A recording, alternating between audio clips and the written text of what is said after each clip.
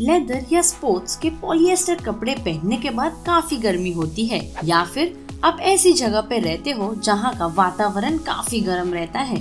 ऐसे सिचुएशन में पसीना आना नॉर्मल सी बात है, लेकिन कुछ लोगों को ठंडी या बारिश के सीज़न में भी बहुत पसीना आता है, जबकि ठंडी में लोग स्वेटर पहनते हैं।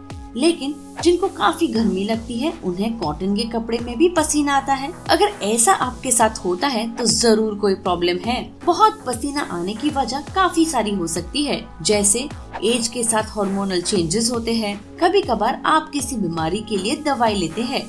दवाई हाई पावर की होगी तो उस कारण भी पसीना आता है।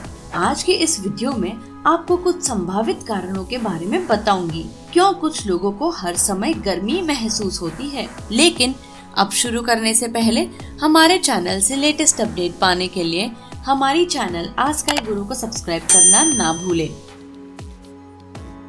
मेनोपोज मेनोपोज के दौरान महिलाओं के शरीर में काफ़ी बदलाव होने लगते हैं। कभी कभार सिर्फ़ शरीर में ही नहीं तो महिलाओं के इमोशंस में भी बदलाव होता है।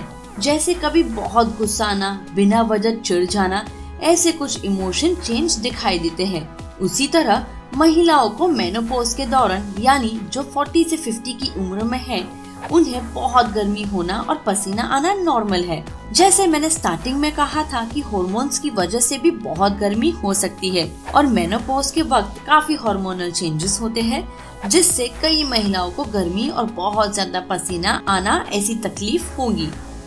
हाइपोग्लाइसेमिया क्या आपको टाइप टू डायबिटीज़ है? यदि ऐसा है तो आपका शुगर लेवल बार बार कम होता रहेगा, जिससे हाइपोग्लाइसेमिया कहते हैं। शुगर लेवल कम होने की प्रॉब्लम से निपटने के लिए आपके शरीर का हार्मोन एड्रेनालाइन चर्न होता है, जिस वजह से आपको बहुत गर्मी महसूस होती है। बहुत गर्मी होने के सिवा हाइपोग्लाइसीमिया के कारण हाथ कांपना, चक्कर आना और सर दर्द होने ऐसी भी तकलीफें हो सकती है। एंजाइटी यानी चिंता करना। कुछ लोगों को हर छोटी बात पे काफ़ी चिंता करने की आदत होती है और ऐसी चिंता करने से टेंशन और ब्लड प्रेशर बढ़ता है, जिस कारण बहुत गर्मी महसूस होती है, क्योंकि आप जब किसी बात पे काफ़ी टेंस रहते हैं तो दिल ज़ोर से धड़कना ब्लड प्रेशर बढ़ना, ऐसे सिम्टम्स दिखाई देते हैं, जिस कारण बहुत पसीना आने लगता है। मेंटल हेल्थ एक्सपर्ट्स कहते हैं कि ये काफ़ी कॉमन प्रॉब्लम है आजकल के लोगों में। लेकिन अच्छी बात ये है कि इसका इलाज साइकोथेरेपी मेडिटेशन और योगा से कर सकते हैं। मेडिसिन हर कोई जानता है कि दवाओं के सभी प्रकार के दुष्प्रभाव यानी कि साइड इफेक्ट्स हो सकते हैं और कुछ दवाई के साइड इफेक्ट्स नॉर्मल होते हैं। तो कुछ के काफ़ी गंभीर भी हो सकते हैं। कुछ प्रकार के पेन किलिंग टेबलेट्स और एंटी डिप्रेशन से बहुत गर्मी होने की संभावना हो सकती है, क्योंकि कुछ हाई पावर की दवाइयों से बॉडी टेम्परेचर हाई हो जाता है जिस कारण काफ़ी पसीना आने लगता है।